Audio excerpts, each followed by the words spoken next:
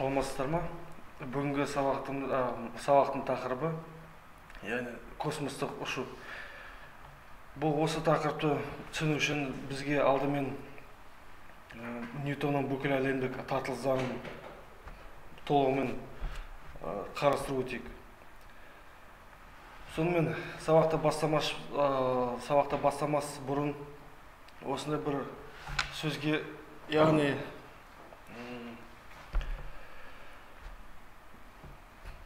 қалай айтсақ әрбір адам күн тек оған жарқырауға мүмкіндік беріңдер деген осындай бір әм,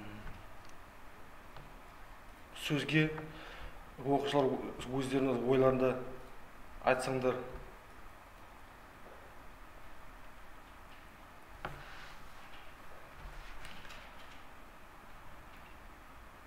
Рахмет.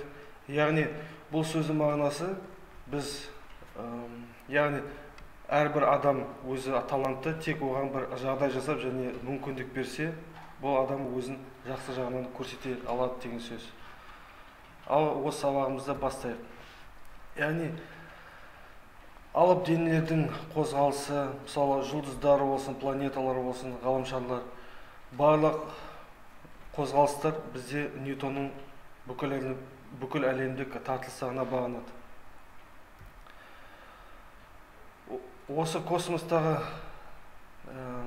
үлкен алып денелердің қозғалысын қарастыратын бір яғни стеллариум деген программа арқылы қарастырған жөн болады деп ойлаймын. Яғни бұл программаның мүмкіншілігі зор. Өйткені осы программа арқылы біз кез келген яғни өз орнымызды сәйкесінше көрсете аламыз. Мысалы ішінен ақтөбені тапсақ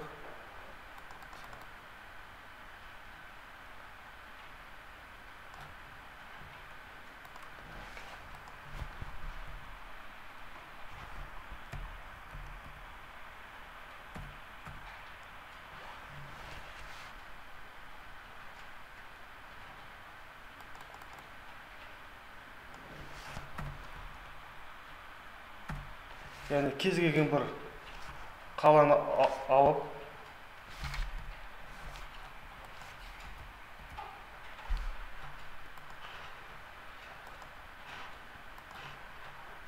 кез келген планеталарды мысалы қазір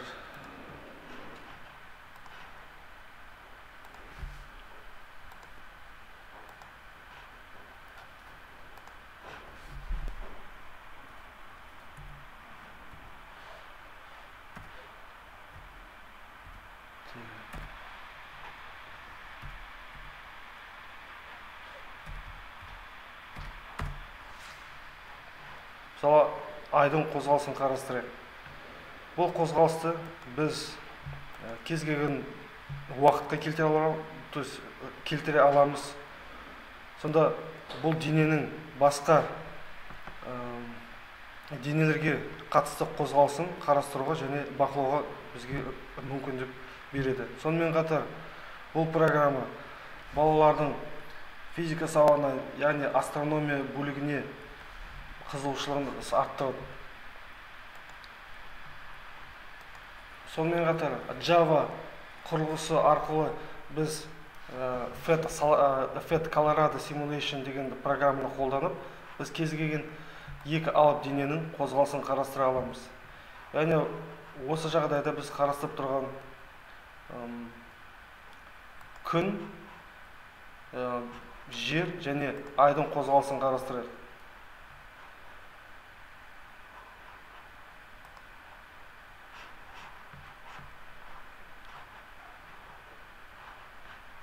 Міне осы жерде біз көріп тұрғандай күн мен жердің қозғалысын қарастырсақ яғни бұны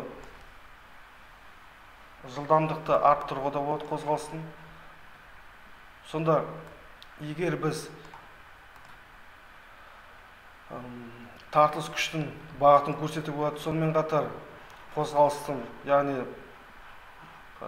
алып денені айналып тұрған дененің сызықтық жылдамдығының яғни бағытын көрсетуге болады. Осы кезде біз егер күннің массасын кішірейтсек бұл денеміз яғни алып біздің өзіміз жеріміз күн жүйесіне ұшып, ұшып кетер еді. Егер біз планетаның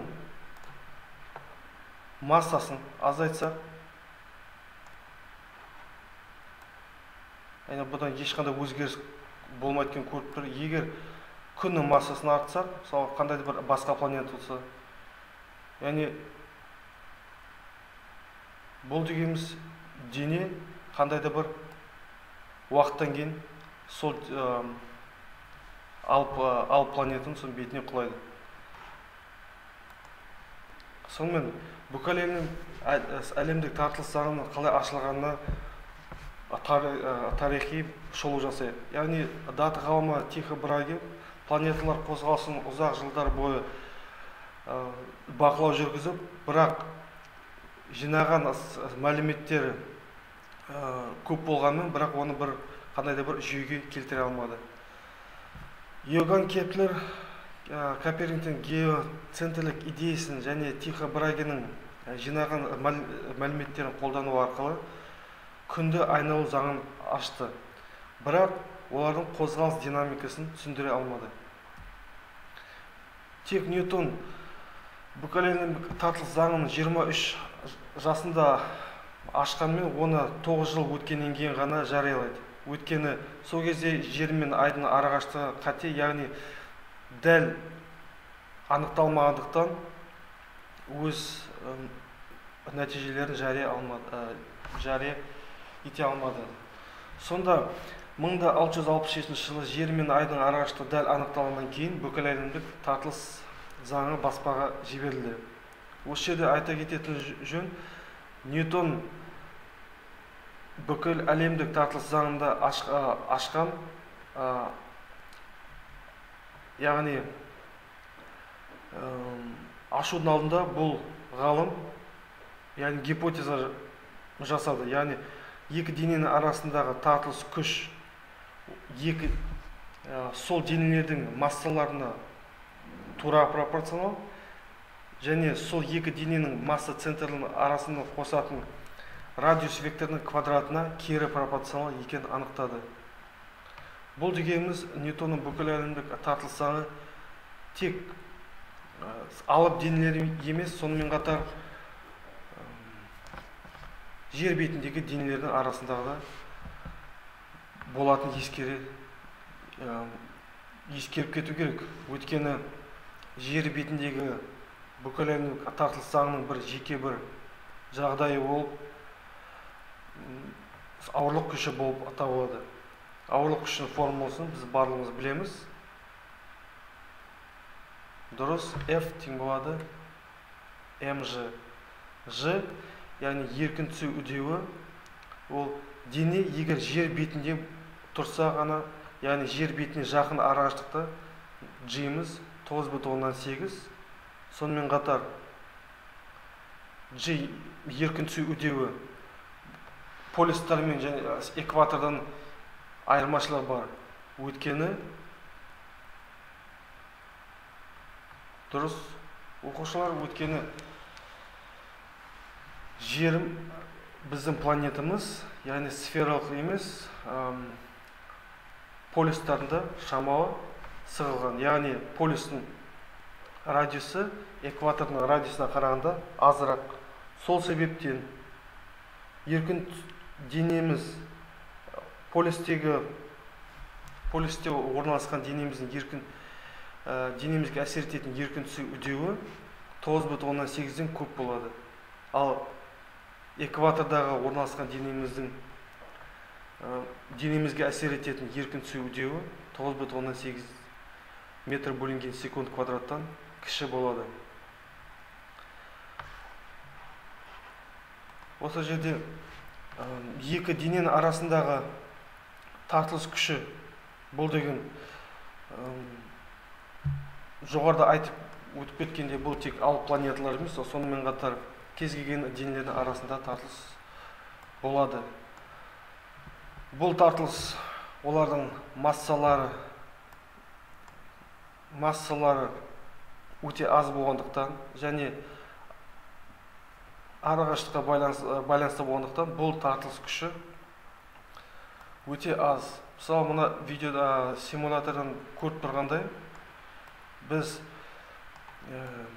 екі дененің арасындағы тартылыс күші яғни бірінші дене екінші денеге қандай күшпен әсер етсе екінші дене бірінші денеге дәл сондай күшпен әсер етеді. Бұл дегеніміз дұрыс модулі бойынша тең бірақ бағыты жағынан қарама қарсы күштер. Ньютонның бүкіл әлемдік тартылыс заңы қалай келді деп айтуға айтып кетейік. Яғни ньютон көптеген құбылыстардың бір қарағанда ортақ қасиеттері болмаса да мысалы денелердің жер бетіне құлауы планеталардың күнді қозғалуы ай, айдың жерді айнала қозғалуы сонымен қатар ә, теңіздердің толқындардың ә, қозғалысы бір жағынан қарағанда ешқандай ортақ қасиеті болмаса да, да бұны бір себептері бір екенін болжады.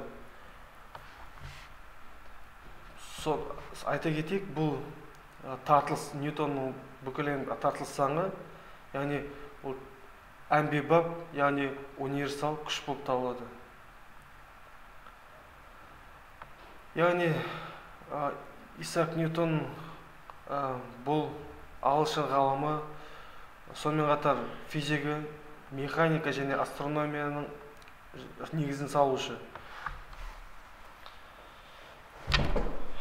Сонымен қатар ньютонның осы күштен бөлек яғни айналы телескопты да ашып ашқанында естен түсіре яғни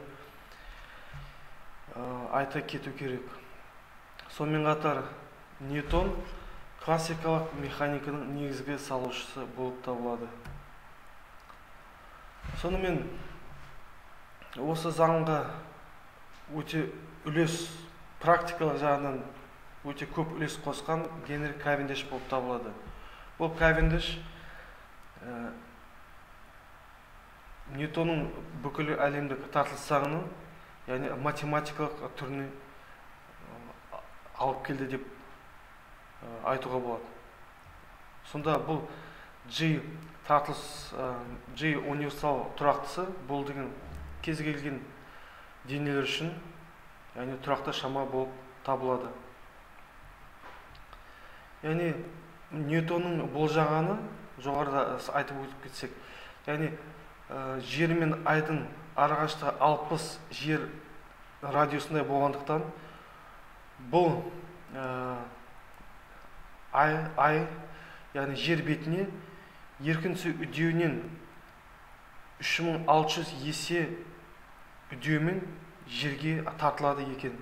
Соны ә, есептеп көрсек мысалы ә, бұл тартылыс күш F тең болады оның 20 дәрежесі ньютон ә, ньютонды береді екен.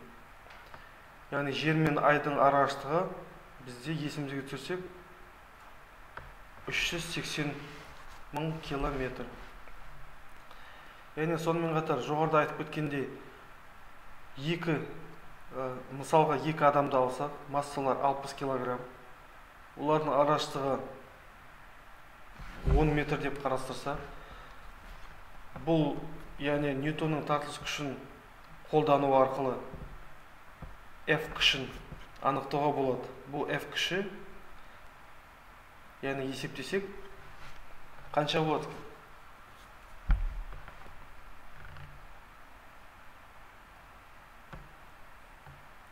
дұрыс F тең болады екі бүтін оннан төрт көбейтілген оннан минус тоғыз дәрежесі ньютон. Бұл дегеніміз кез келген денелердің арасында тартылыс күш бар екенін бізге көрсетеді. Өте аз шама болғанымен бірақ ол күш бар. Сонымен генри кавендиштің тәжірибесі өте қызықты. Бұл ғалым қондырғысы яғни брошы таразы деп аталады.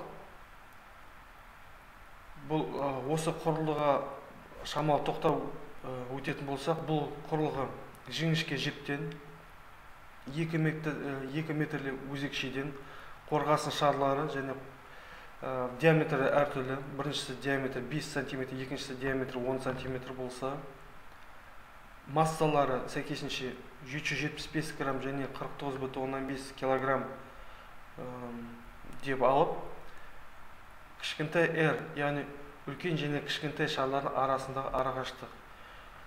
Яғни осы құрылғы арқылы бұл ғалым G тұрақтысын яғни гравитациялық тұрақтыны анықтады.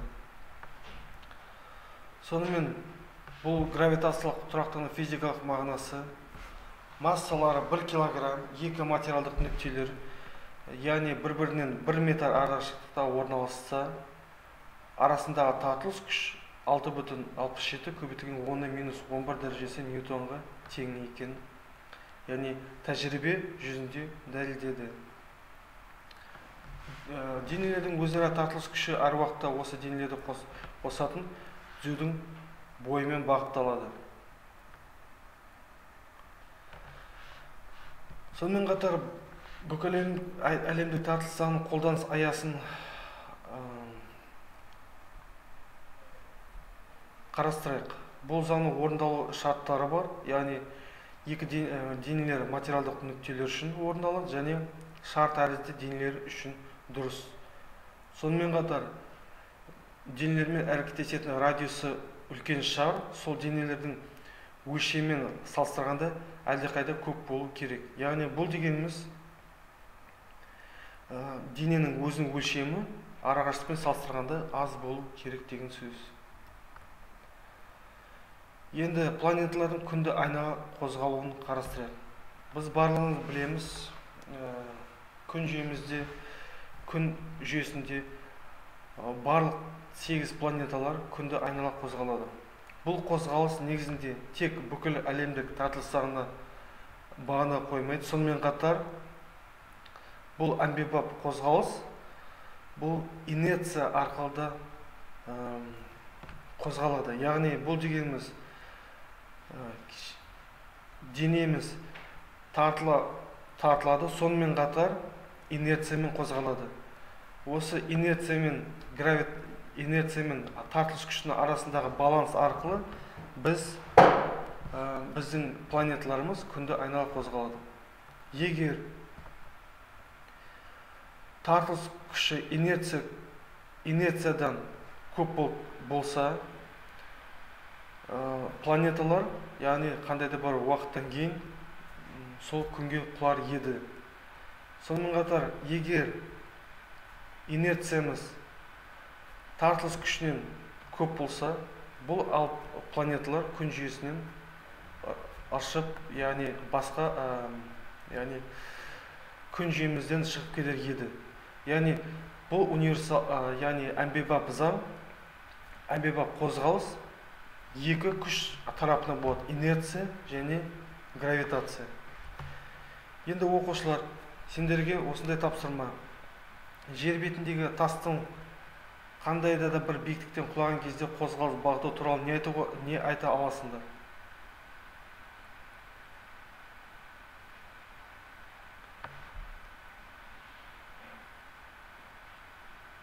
Дұрыс.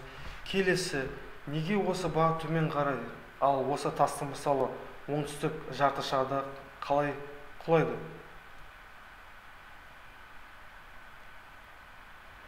Дұрыс жауаптарыңыз дұрыс. Келесі бұл қозғалыс қандай да бір заңдылыққа бағынады ма? Әрине космоста бұл заңдылық ор- бұл заңдылық орындалады ма? Дұрыс. Ал ауа планеталардың қозғалысын қалай түсіндіруге болады?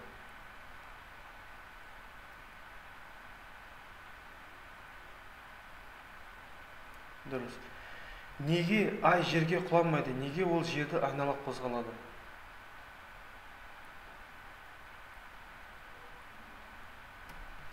Дұрыс. Сонымен жоғарыда берілген сұрақтардың жауаптарын қарастырайық. Сонымен бірінші жер бетіндегі тастың қандай да бір биіктіктен құлаған кездегі қозғалыс бағыты жерге перпендикуляр яғни вертикал төмен құлайды. Екіншісі тастың бағыты жердің центріне бағытталған. Дұрыс сендердің айтқан сұрақтарың жауаптары сәйкес келіп тұр. Үшіншісіне бұл қозғалыс жердің тартылыс заңына яғни ауырлық күшіне әсері әсерінен болады. Төртіншісі иә өйткені жердің тартылыс заңдылығы бүкіл әлемдік тартылыс заңының жеке бір жағдай болып табылады. Бесіншісіне космоста ал планеталардың қозғалысы бүкіл әлемдік тартылыс заңына бағынады. Және соңғысы неге жер неге ай жер бетіне құламайды өйткені айдың сызықтық жылдамдығы өте көп болғандықтан яғни бастапқы кезде инерциямен қозғалғандықтан және жердің формасы сфера тәріздес болғандықтан ол жерге құламайды енді келесі тесттерді қарастырайық. Қандай күш жерді және тағы да басқа планеталарды күнді айнала қозғауға мәжбүрлейді дұрыс бұл тартылыс күші. Екіншісі екі дене арасындағы тартылыс күш күшін арттыру үшін не істеу керек? Әрине дұрыс екі дененің бір біріне жақындату керек және екі дененің массаларын көбейту керек.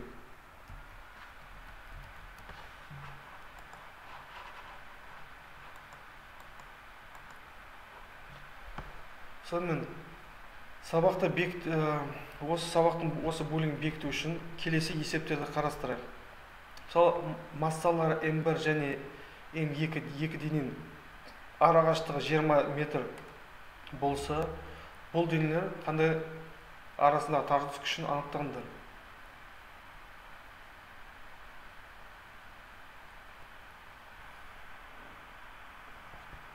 дұрыс f тең болады g m1 m2 бөлінген r квадрат деген формуланы қолданамыз. Келесі есепті қарастырайық. Жер бетінен 400 километр биіктікте тұрған массасы 40 килограмм дене жерге қандай күшпен тартылады? Жердің радиусы 6400 километр жердің массасы 6 көбейтілген онның 24 дәрежесінде килограмм.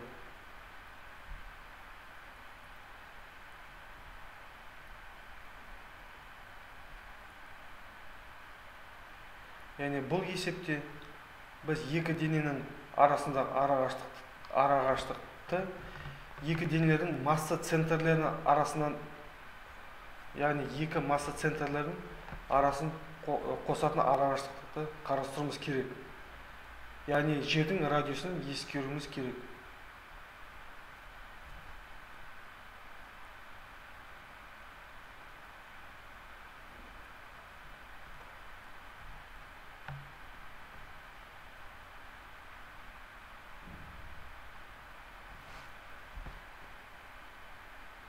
Дұрыс. Келесі жағдайды қарастырайық. Әрқайсысының массалары 100 килограмм тыныштықта тұрған шарлар бір біріне нөл бүтін оннан бір ньютон күшпен тартылса онда олар бір бірінен қандай арақашықтықта орналасқан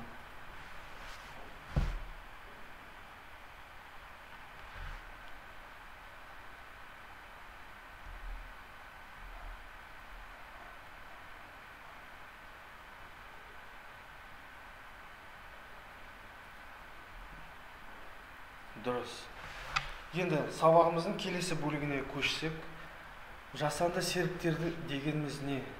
Яғни өздерінің ойларыңызды айтсамдар болады. Қолданысы яғни қажеттілігі.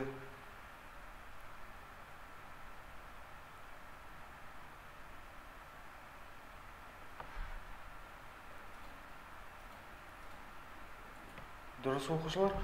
Яғни жасанды серіктер дегеніміз телекоммуникацияда ақпаратты жіберуде кез келген жердің кез келген нүктесінде тұрған адам адам яғни басқа жер бетінде тұрған жердің кез келген яғни басқа бір жерде орналасқан адамдарға ақпарат алмасуға мүмкін, мүмкіндік береді. Сонымен қатар жасанды серіктер сендер айтып тұрғандарың дұрыс. Яғни ол сонымен қатар ауа райында да яғни мұхиттардың сонымен қатар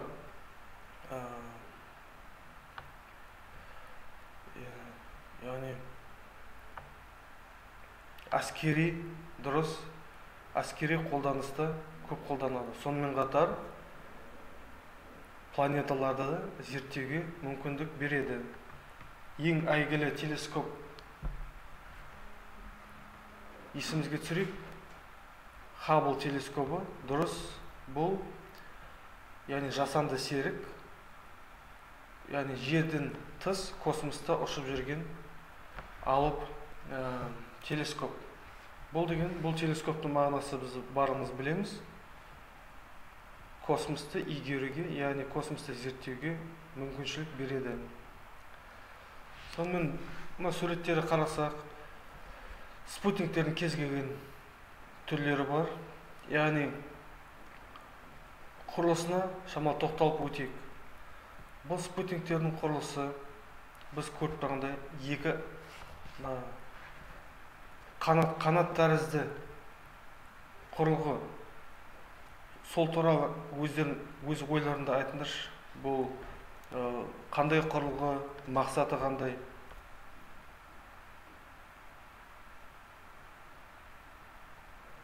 Яғни жасанды серіктердің қозғалысына қажетті электр энергиясын қалай алады?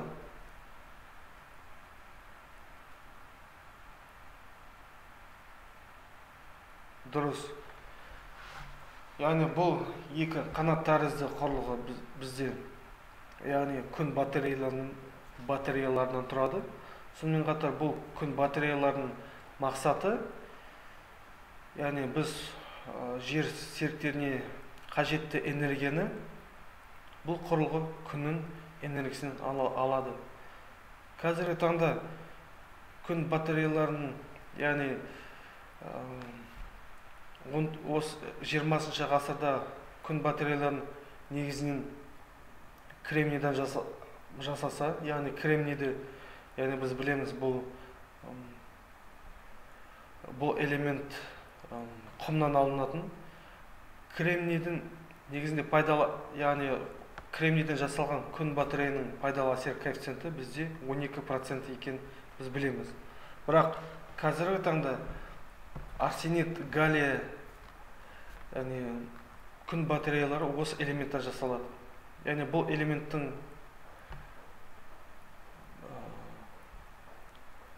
яғни мүмкіншілігі зор. Өйткені бұл элемент арқылы жасалған күн батареямыз бізге 22 процент береді. Яғни пайдалы әсер коэффициенті өте жоғары деп айтуға болады.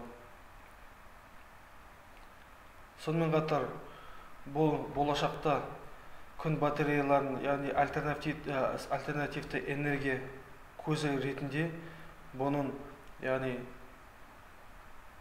ә, мүмкіншілігі болашақта өте зор. Өйткені осы бағытта жұмыс бізге әлі ә, ғалымдар көп яғни зерттеулер жүргізіп жатыр.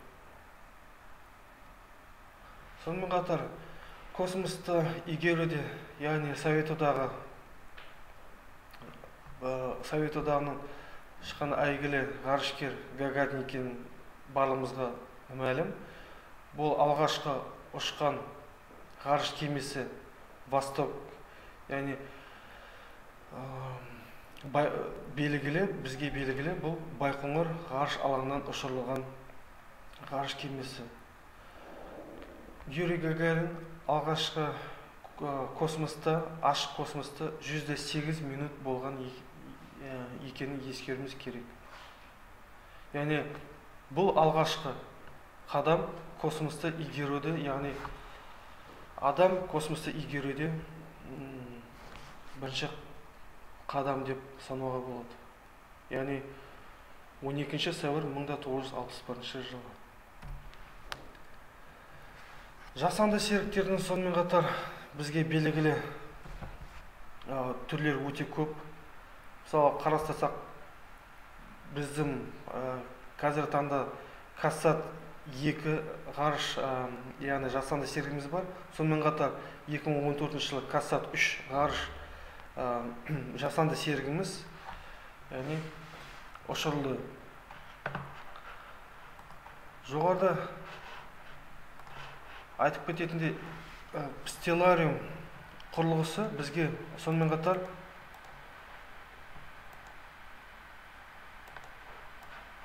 бізге ә, жасанды серіктердің түрлерін яғни қозғалысын көрсете алады.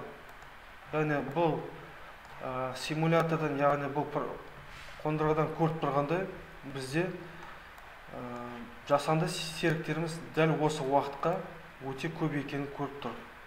Кез келген басып қарасақ мысалы космос 1933 деген жасанды серік бұл туралы ақпарат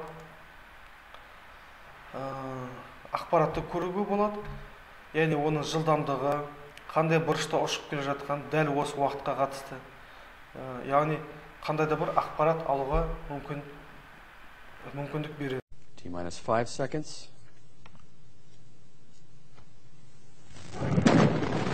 We have liftoff of an ILS proton rocket on the Baikonur Cosmodrome in Kazakhstan, carrying the AsiaSat 5 communications satellite.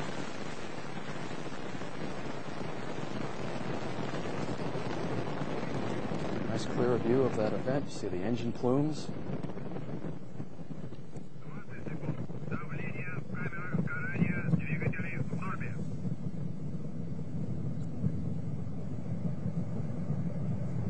About 10 seconds after liftoff, the rocket does a roll maneuver and will soon experience maximum dynamic pressure, or max Q. Max Q is the maximum aerodynamic load on the vehicle. It corresponds to about Mach 1.5 and occurs about 63 seconds after liftoff.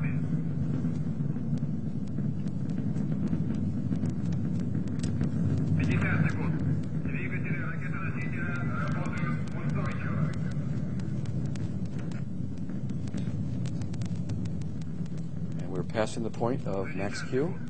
Everything's looking good so far. сонымен қатар бұл жасанды серіктердің ә, яғни ашық яғни космосқа ұшыру үшін бізге ракеталар қажет яғни ракеталардың бірден бір мақсаты осы жасанды серіктерді космосқа ұшыру болып табылады енді осы жерде қазақстанның ғарышқа ғарышты игерудегі үлесі яғни әрине бұл байқоңыр болып табылады.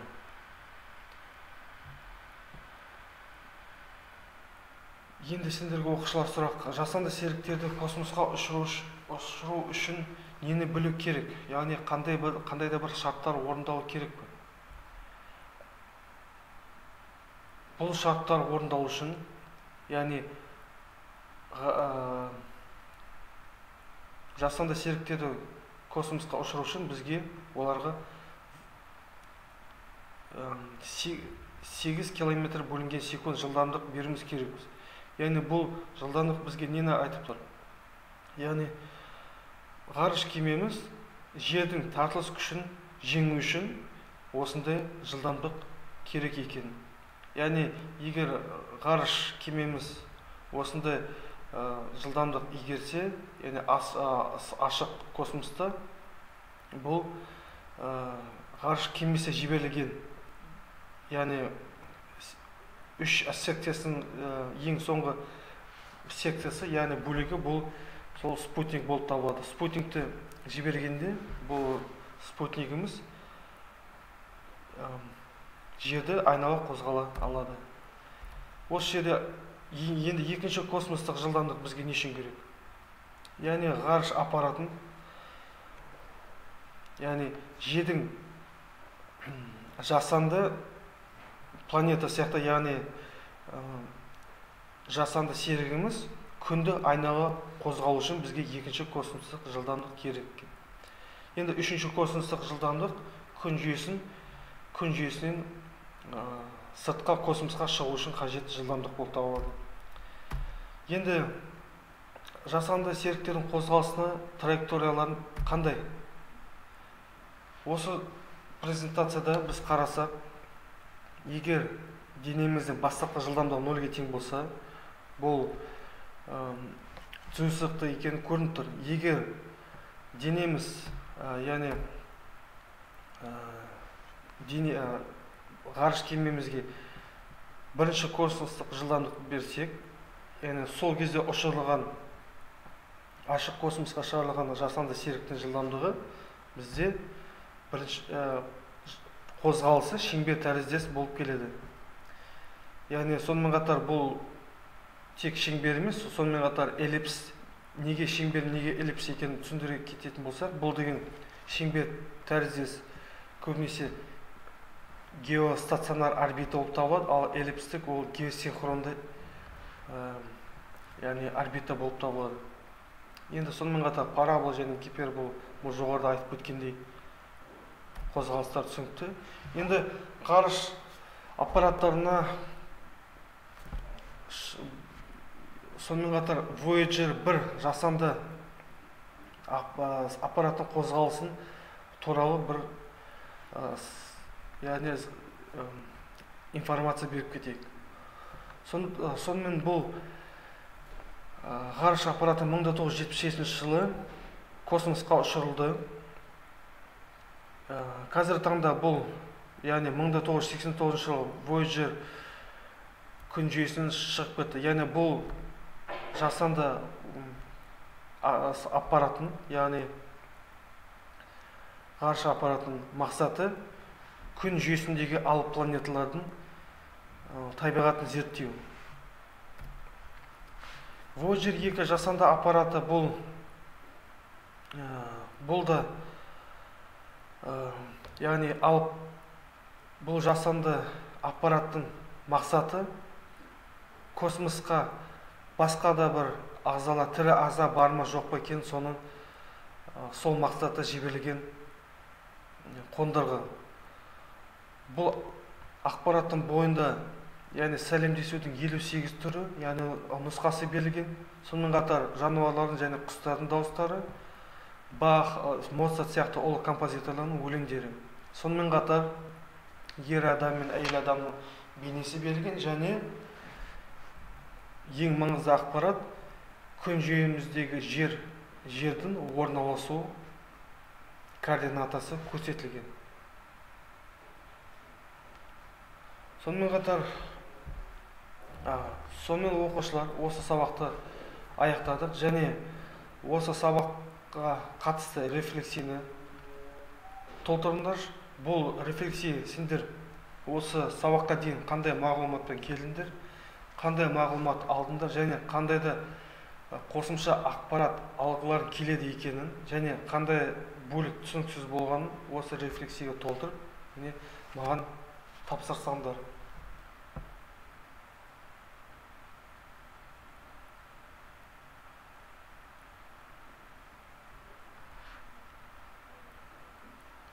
Рахмет.